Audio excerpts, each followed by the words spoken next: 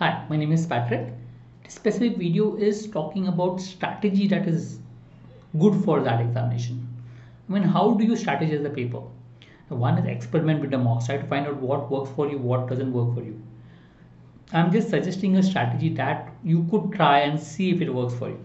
I mean, if you look at a paper pattern, okay, you have two parts of paper, paper one, paper two. We are focusing on paper one because the cutoffs will be based on paper one so paper 1, 26 questions, 21 questions, 28 questions as far as verbal, decision making and content DI concerned. Three sections. So the breakup of is 26, 21, 28 questions. Total 75 questions. There's a negative mark of 0.25 marks. There's also negative, a small negative if you don't answer too many questions. But my suggestion is as of now for the initial strategy, just rule it out. We may come across with one more video in terms of how will that affect in terms of the strategy in later phase but for now, since the mark is very small, 0.05, etc., 0.1, just ignore it and let's look at uh, how to strategize the remaining part of the paper.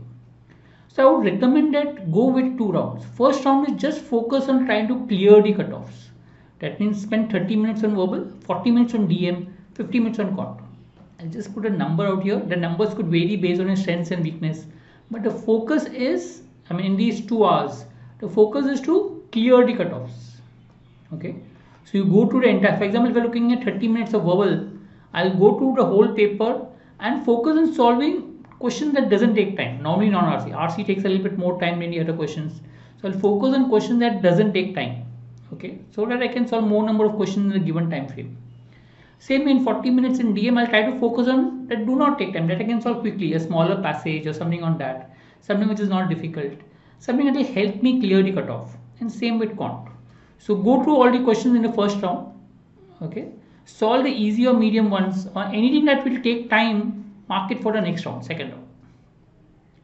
Then when you come in the second round, for the first 20 minutes, now you're still 45 minutes left. Remember the whole paper is 165 minutes for the first round.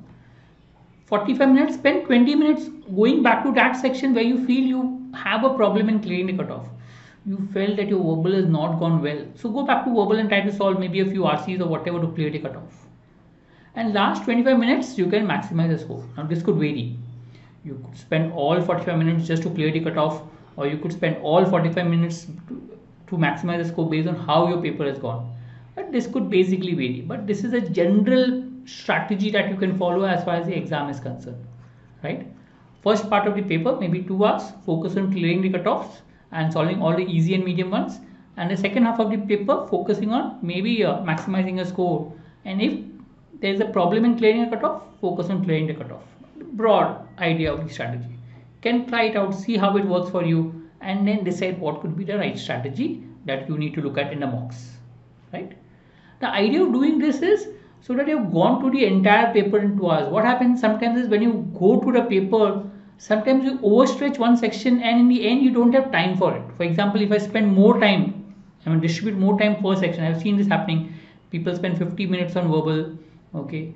Maybe they spend 75 minutes on quant or 60 minutes on quant whatever. And whatever time for dm but because they stretch more for quant and verbal they get less time for dm and that is not sufficient to clear the cutoff because of which the cutoff is not clear. So plan accordingly. See what works for you what doesn't work for you and then come up with the right strategy. Right? So the whole idea is avoid questions that take long time in the first round Avoid lengthy RC and DM sets in the first round that takes a longer time to read etc. Focus first round is only to clear the cutoff. Okay. And time limits, what I mentioned, you can vary it based on your comfort level, your strengths, your weakness, you can vary based on your comfort level. Right. All the best for the exam.